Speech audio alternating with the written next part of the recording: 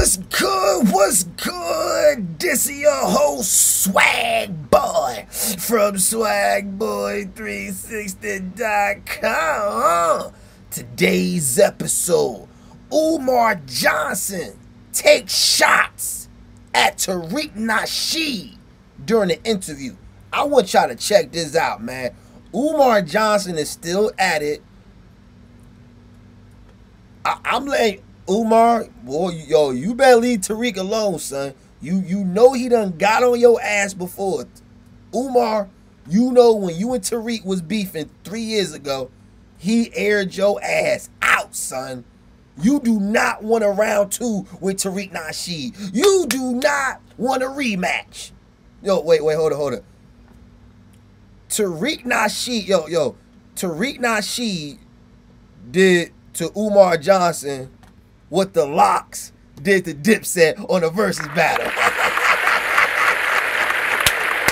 That's what he did. That's what he did to Umar Johnson, yo. So, so Umar, uh, uh, unless you want another ass whooping, you better leave Tariq alone. But I, I, I'm gonna play y'all. I'm gonna play y'all the bullshit he was saying about Tariq Nasheed. Here we go. Remember, you know Tariq Nasheed of the Foundational Black American uh, put out. He, he was involved in this video where he mistake he he, he he he he thought someone that he was talking to was African, so to speak, as if he's not African himself, but uh, like someone that is continental African because of the guy's features. Somehow, um, uh, he he the guy is obviously is African American, but uh, he, he he looked more continental African, so to speak. And there was this brown paper test that he was applying to this guy to say, "You're not one of my people." What part of the Congo did your family come from, nigga? I don't know. Tariq Nasheed asking him, what part of the Congo did your family come from? So basically, this dude right here is saying he's uh, African American. Tariq Nasheed like, no, nigga, you ain't African, or you ain't no black American, nigga. You straight from Africa. Now, for those who don't know, Tariq Nasheed, he love roasting niggas. Like, like, cats be coming on his Instagram live talking shit. Tariq be roasting niggas, man. This shit be funny as hell. I don't care. This shit funny. I'm gonna let y'all see this shit. Watch this shit, y'all. No. Okay, no, let's play a game. Your family, your mom and dad or your granddads are immigrants. I see that hairline, nigga. I see them assy fucking knuckles. You are not no foundational black American. I know my people, nigga. I see that that disco ass You're racist in the back, shit. nigga. You I are see- racist. I'm not racist, nigga, but don't act like you a foundational black American. Let's stop it. I know my folks. And for a guy like that who one would think will know better and uh, has been, you know, he's done some very good work in the past. Um, why do we still have individuals who are taking this brown paper test to determine uh, who is more American black than other blacks? the danger in people like him, entertainers, yes. not scholars, entertainers who just pop up out of the blue and present themselves as if they are experts or scholars on African history, culture, and politics is very dangerous because since he's such a good entertainer, he attracts the young people. You understand? And because our young people don't have a political education, they're easily enticed, brainwashed, and swept up into the rhetoric that someone like a Mr. Nasheed puts forward. He's very dangerous because he's an opportunist. Once again, Nick Wait, nigga, you ain't no opportunist? Nigga, you ain't dangerous? Niggas done gave you more than a half million dollars. You ain't no damn opportunist? How you how the hell you got some nerve talk about Tar- what how Tariq Nasheed is dangerous? Tell me what dangerous shit Tariq Nasheed did, nigga. Tell me what dangerous shit did Tariq Nasheed did. I can tell you some dangerous shit your ass did. I seen single mothers give you they hard earned money, expecting their 10 year old son to be one of your first students, and that never came to light. That never that never happened. That's dangerous, nigga. Cause that lady that you met that gave you a donation with her phone number, with her work phone number, her home phone number, and her address, and said, My son will be your first student. That ain't dangerous? Negro and Coon. Okay, you made videos which talked about African history. You made videos which talked about the African contribution That's true. to humanity. The Hidden Colors series was largely an African documentary series. But because you see that there's this new wave of anti Africanism in America, you're going to disconnect yourself from Africa, where you've been, where you've spoken, and now you want to reinforce this. We're not from Africa. We're different from the Africans. We have to separate ourselves from the Af. Well, where was that when you were making the documentaries? So what you're dealing with is a pure opportunist, a chameleon, someone who will change with the time and who will change with the season. And what determines whether he changes now or later? The money to be made. Wherever there's some money to be made, you will find Tariq Nasheed there. Uh, that that's just unfortunate because I thought uh, I thought he was uh, doing a good job in terms of because we respect everyone that is involved in the in the in the struggle in one form, form or the other, uh, but that was just uh, unfortunate what he did. Wow. Wow. What's that term they say, man? If it ain't the kettle calling the if it ain't the pot calling the kettle black, what what's that terminology? Somebody in the chat tell me, yo. What's that terminology? They said if it ain't the pot calling the kettle black, if it ain't the some shit like that. Y'all get what I'm saying. This nigga got some nerve calling Tariq Nasheed an opportunist.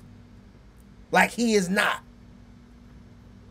If you need to pack calling the kettle black because you need uh I don't know. But yo, how dare Umar Johnson say that about Tariq when he's an opportunist himself? See, I tell you why Umar is mad, yo. If it ain't the pot calling the kettle black, there we go.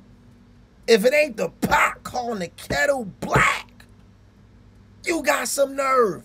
You calling Tariq Nasheed the opportunist. Well, then what the hell are you, Umar? What the hell are you, Umar? You telling you telling Lord Jamar, hey man, the school gonna open up in, in the beginning of 2021. In the beginning of 2021, in January, you said the school was gonna open. Is the school open? Can can can can can parents enroll their kid? Can these single mothers that you target, can they enroll their badass kids in your school now, nigga? It's 20 we in the middle of 2021, nigga. But you know the bullshit you doing? You are opportunist because now you using part of the school as a way for you to get more donations. Nigga, you throwing a block party. You throwing a damn block party. Niggas is trying to put black parents are trying to put their kids to into your school and you throwing a goddamn block party like everybody's supposed to be excited. It's just another way for you to get some more money out of them. That's dangerous. But you calling him dangerous? You jealous because he's raised more money than you for his hidden for the, for his hidden colors museum or hidden history museum. That's why you mad, Umar. Tell him why you really mad, son. I know you watching Tariq raise his money for this museum, yo. I know you watching him. This is why you mad, son. Because the same people you begging, you begging, hey, hey, I, I, I need your donations. I, I, need your free labor. Hit, hit up them cash apps. Hit up them cash apps. The same people you say hit up them cash app, they they willingly giving their money to Tariq to open up this hidden history museum. Something that the black community needs. I don't know why you still going at Tariq, nigga. See, when when that person, when that person, when that individual asks you about Tariq Nasheed, look, look, you should just brushed it off, yo. You should just brush it up, change the subject, and talk about your make-believe school that you're trying to open up. Your make-believe school that you're trying to open up that will never get open. Cause you don't know how to run no damn school, nigga. Even hypothetically speaking, let's say a miracle happened and Umar Johnson got all the money he needed to open up the school. He still don't even know how to run the motherfucker. I heard I heard a video of this nigga saying how he spent 20 to twenty five thousand dollars. He said he he said two different prices on the same shit. One minute he said he spent twenty thousand on a blueprint, and then one minute he said he spent twenty five thousand on the blueprint. Right. This nigga admitted to spending that much money on a blueprint, and he ain't have to.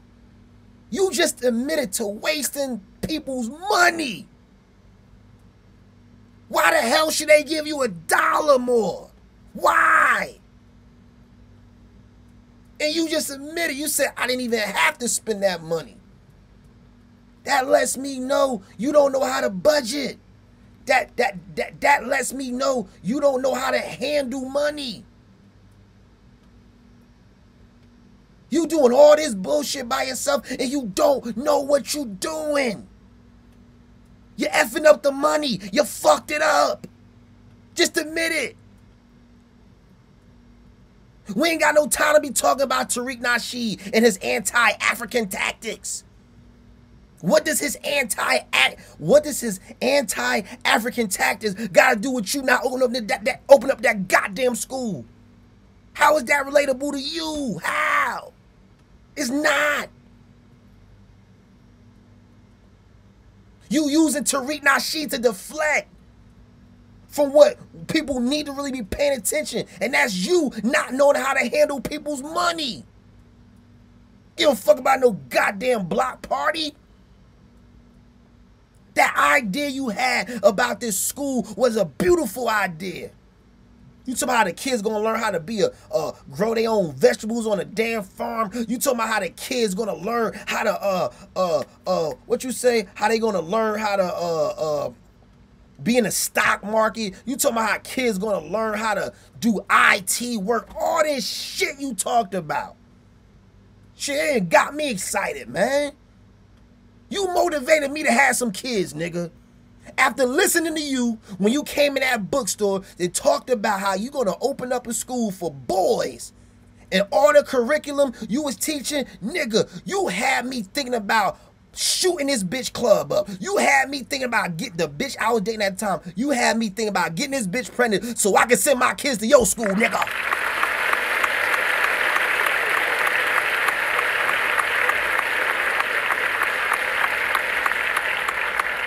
Come to find out it was all a bunch of bullshit.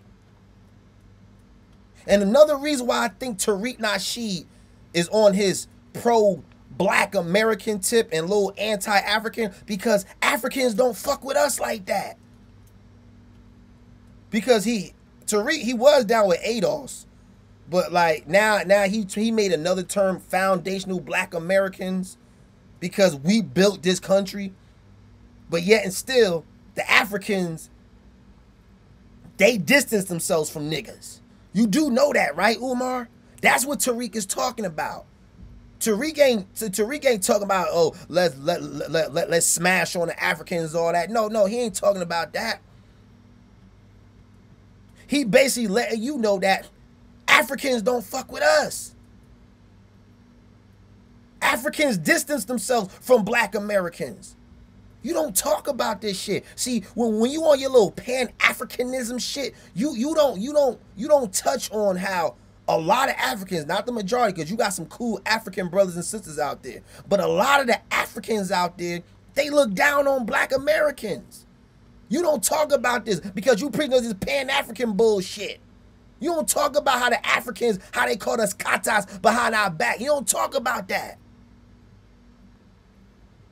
You don't you don't talk about how Africans really think about black Americans. You don't you, you don't talk about what the Africans tell their kids before they go to America. Yeah, yeah, yeah. They tell them kids, look, you're gonna see black people that look like you, but they not one of us. These are slaves. These are slaves. That's a that's what Tariq be talking about, man. When Africans come over here, they don't try to share their knowledge with us. But they benefit off the hard work of our ancestors, y'all. That's what Tariq be talking about. But see, Umar, you don't acknowledge that shit. You you you you you wanna you wanna act like it's kumbaya with all the Africans and shit. That's what you want to act like. You want to act like uh, is everything kumbaya, kumbaya. Check, check this out, check this out. Around here, it's some African communities out here. I, I'm being for real with you. It's some Nigerian, Ghana, Ghana, Ghana. I don't know how to say it, but I know communities in I know communities over here on the East Coast is very African. They got some African communities, right? Let me just say something about the Africans, nigga, because because I know you don't want to talk about this. The African communities, they're very tight knit, right? It's very tight knit, okay? They not letting niggas come in their community. They ain't letting niggas come in their network. That little this little African network they got, they not inviting niggas in. They not. Um, uh, I'm sorry. They not uh, inviting Black Americans into their network. I know a dude. I I I, had, I had a dude right, who was he we, we we was cool with each other, son. Hey yo, this dude, like I'm a photographer, right? He knew some Africans that's having an event, right? I said, yo, yo, son, let the, let them niggas know I do photography, yo. They like, nah, nah, they only hire Africans.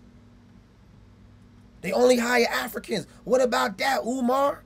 Why you don't talk about that? You know what? The same thing you don't talk about the racism that Africans have towards black American, the same way you don't acknowledge how these black women are the enemies towards these black kings out here. You don't want to talk about that. You don't want to talk about that. You gotta watch Umar. Umar, you the dangerous one. You the dangerous one, yo. Cause you out here teaching these women how to be masculine towards they black man. You ain't te- you ain't telling these women how they need to be submissive. You the dangerous one. You the you the dangerous one. You want the black Americans to just go deal with the Africans as if they look at us as they brother. Oh, yo, you know, I found out a long time ago all Africans don't look at me as they brother. Yo, I, yo, I was disappointed, nigga. I was disappointed, nigga. Nigga, I, nigga, I was on some Wakanda shit before Black Panther came out, nigga. Nigga, nigga, nigga, nigga. I was so into the African culture, nigga. Nigga, I used to make up my own language that sound African. No bullshit. I, I used to make up African chants, nigga. And it was it wasn't even African. It, it, it, was just shit that sound African, some some bullshit I made up, nigga. Until I really got around these Africans. And I saw they didn't look at me as they boada. They didn't look at me as they boada. Nigga, no bull. I wanted, I wanted an African family, nigga. No bullshit. When I was growing, up, nigga, when I was in middle school, you know what I said? I said, forget these American women. I'm gonna get me an African woman. N- n- nigga, nigga, nigga, I was 18 years old looking for my Sarafina. Where is my Sarafina? I, I, I, I had the dashiki on. Yo, I think I think I think I got a picture of a dashiki. I, I was wearing a dashiki and everything, looking for my Sarafina. Where's my African queen? Where is my African queen? And guess what? I was meeting all these African bitches. I was meeting all these African bitches, right? Saying, like saying to myself, I'm gonna make one of these African women my queen, man. They was curving me, man. These African bitches was curving me, right? Not only was they curving me, they was telling me how and why they didn't fuck with black American dudes like me. They was telling me why. And on top of that, you know what? The African bitches that did give me a little play, the African women that did give me a number, they wasn't submissive. They ready, they, they they wasn't ready to cook and clean for me. Like, like, I'm like, yo, yo, I was talking to this one African, like this, one African bitch came over, right? I, am thinking this bitch about to bring me some jollof rice, some some some some some uh some some jungle meat, you know, I'm some what? No, not jungle bush meat. They call it bush meat. I'm thinking this bitch about to bring me on some jollof rice and some motherfucking bush meat, right? Don't you know this bitch came over, right? First of all, the bitch ain't had no jollof rice. The bitch ain't had no bush meat. So I'm like, fuck it, fuck it, yo. She's just gonna pamper me her own little way. I'm like, I'm, I'm, I'm like, bitch. Uh, so what you gonna do? Uh, you gonna, you, you want me to jump in the bathtub? You want me to run the water? Like, you want me to jump in the bathtub so you go give me like, you know what I mean? Like, like, like, give me a, a royal bath? Like, what you gonna do? This bitch look at me and say, oh, oh, I'm not doing that. I am not doing that. What you, what, what do you take me for? I'm not doing that. I said, I know Miss Fufu ain't trying to spaz on me. I know Miss Fufu ain't trying to like flex on a nigga. I'm like, bitch, ain't you African? Yeah, yes, I am African, but what did that have to do with anything? What, what does that have to do with anything? I'm like, bitch, you African. Bitch, you better act like an African bitch with me. But she wasn't. And that wasn't the only African that did that with me. All these African bitches, they don't act like that when it comes to black American men. They not submissive to the black American men. Do you talk about that, Umar? Huh? Huh? Mr. Pan-Africanism? Mr. Pan-African, tell me why these African bitches ain't submissive to the black men in America. Tell me why these African bitches ain't submissive to the black American men in America. Why, nigga? Why, nigga? You don't want to talk about that. You want to deflect, cover up, change the goddamn subject, and talk about Tariq Nasheed. Nigga, you don't need to say a damn, not, not a damn, nada, nada about Tariq Nasheed. You need to focus on getting this fucking school up. You know what? Why the fuck? Why, why am I talking about this guy? It ain't opening. You ain't gonna have no goddamn school. It ain't happening. Can't believe this shit got me pissed off right now, man. Oh, ooh, ooh, yo, and the the nerve you had to get, you got you had the nerve to to get mad at Lord Jamar when he was asked you some real legitimate questions. You gotta learn to get an attitude with Lord Jamar. And he was coming at you on some humble shit. He wasn't even being rude to your ass, nigga. But you want to turn around and kiss the African ass bow down to these Africans. And they call you Katapika behind your back. What about that, Umar? What about how the African call you Katapika? Or when you come around these Africans and you tell them you are African, knowing that they know you ain't no African. Yeah, they smile in your face. They smile in your face. But soon as you turn your back, they say, you a beach ass nigga. He's a bitch ass nigga. He is not one of us. He is not Yoruba. You not Yoruba. See, that's why I learned about Africans, man. Africans, they tribal motherfuckers. Like straight up. Like, like I, I gotta admit, e even the Africans that's over here, they don't fuck with other African nigga. If you ain't down with they tribe, they ain't fucking with you either, yo. The Yorubas and uh uh What's the other shit? What's the other shit, yo? You got the Yorubas. Damn, it, it's another it, it's another tribe that's big over here. If you ain't down with they tribe, they ain't fucking with you. That's what I'm saying, yo. When when when an African see me, he don't see me as his brother, man. The only time I'm an African brother is when the cops whoop their ass. When the cops whoop, when the cops whoop an African ass all of a sudden like, where's my brother? Where is my brothers and sister? Black and my Black Lives Matter. Where's my brother? Where's my brothers at? Protest with me, my brother. Now we African. Now I'm your brother.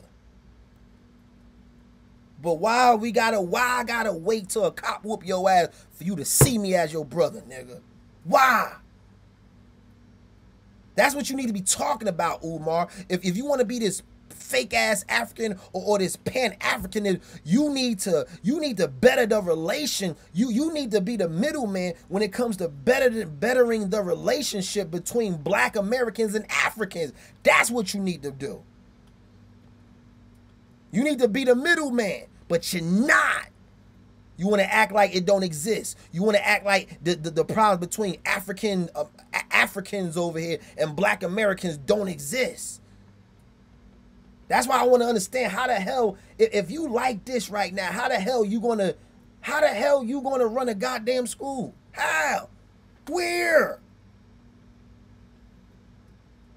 You can't even function on your own.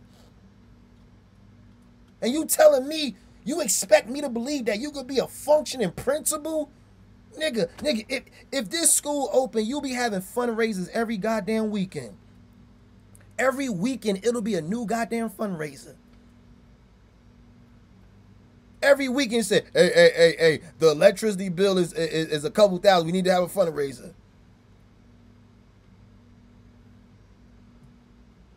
Like every other weekend is going to be a damn fundraiser, man. Fuck this damn school. It's not opening, man. It's not opening. And you know what?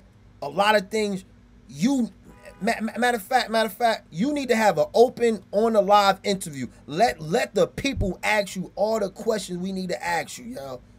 And don't deflect and change the subject and talk some bullshit, man. And I'm serious. And that was today's episode. Like, comment, subscribe. And I'm going to catch you in the next go round, my nigga. Hello.